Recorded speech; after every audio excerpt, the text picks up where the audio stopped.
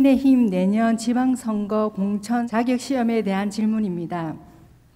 자격시험은 국민의힘 이준석 대표의 핵심 공약이자 당 쇄신 조치의 일환으로 통상 지방선거 공천은 당원 확보 등 조직력에 좌우하는 경우가 많은데 자격시험을 통해 조직 기반이 약한 젊은 층을 선거판에 대거 끌어들이자는 구상입니다.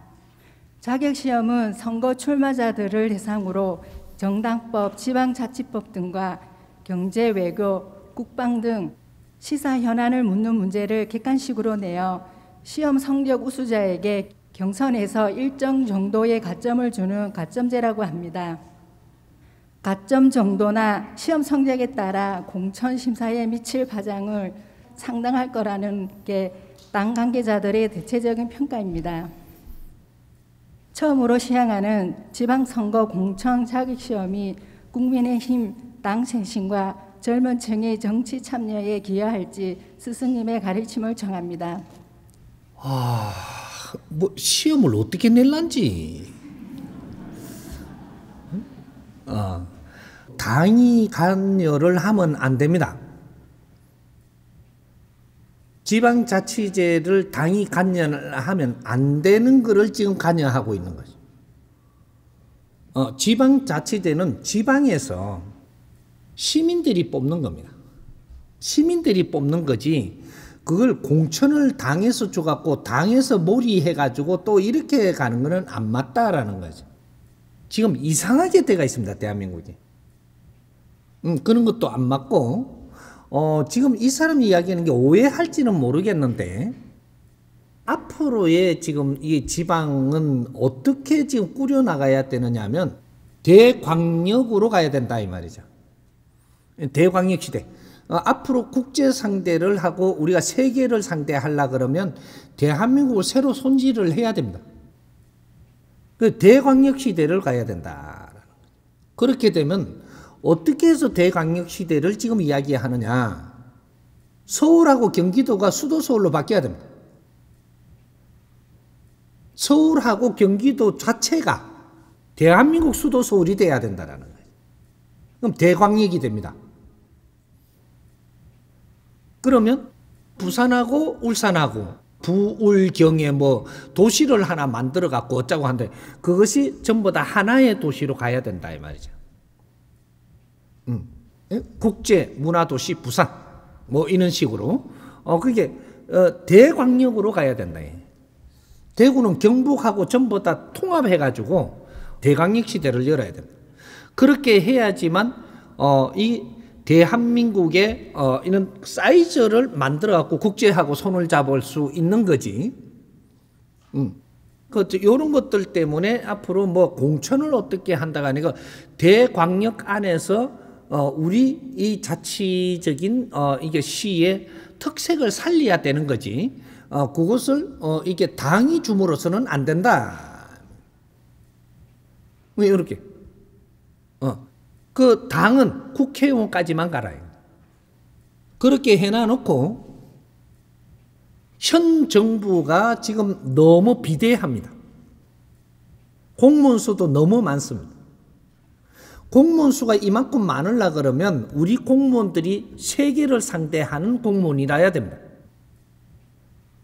음, 어떤 조직도 너무 비대합니다. 이 비대한 것이 앞에 어, 이제 전부 다 똥차가 밀리듯이 밀려가지고 어, 아주 그 기성세대들이 전부 다 그 자리를 다 차지해가지고 어, 밑에 이게 우리 젊은이들이 접근할 수 있는 한계가 없어요. 음.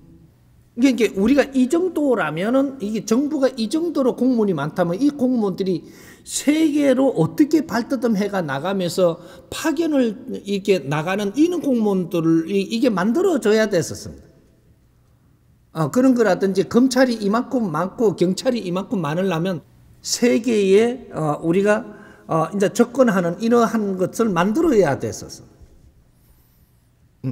음. 어, 그러면 이게 국회의원이 어, 이, 이렇게 지금 많을 필요가 없습니다. 국회의원이 지금 어, 그저 이게 그 한 70명 정도면 충분합니다. 뭐 국회의원 숫자만 그렇게 만들어 가지고 어, 이는 작은 정부. 음.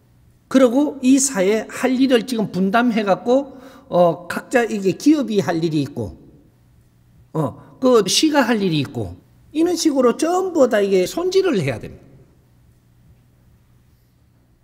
당에서 다 어떻게 좌우지하려고 하는 이거는 완전히 이거는 어, 그저 우리 우리 우리 패거리 정치를 하자는 거지. 우리 패거리로 해갖고 국민들을 주물라고 하는 거는 안 됩니다. 음. 앞으로 이렇게 결국은 만들어집니다. 이는 당 정치는 아닌 거죠. 당의 세력이 너무 크면 안 됩니다. 당 세력을 어, 이 숫자를 줄여야 됩니다.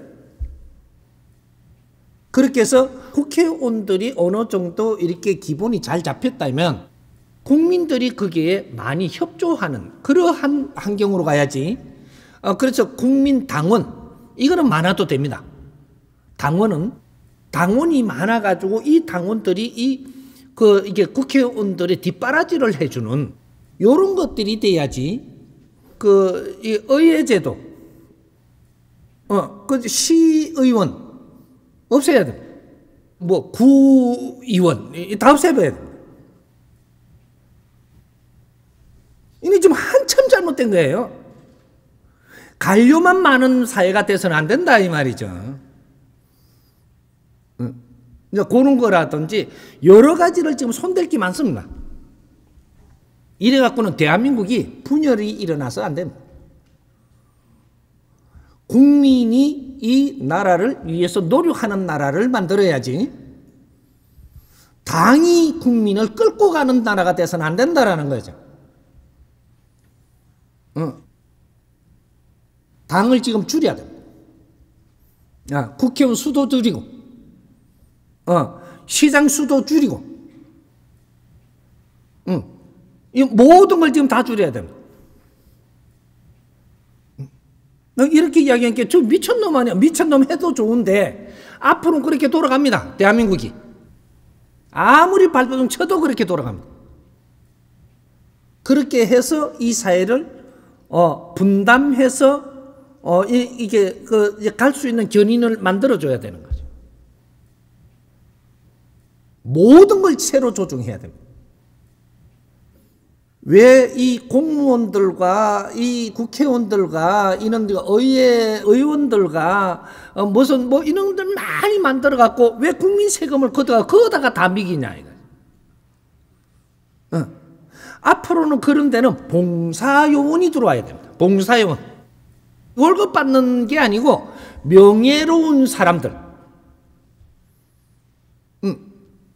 나는 이 시를 위해서 어떻게 봉사를 하면 노력을 하겠다는 사람들을 이제 모집을 해야 됩니다. 이런 분들이 모여서 이 지금 시를 위해서 노력을 해줘야 되지.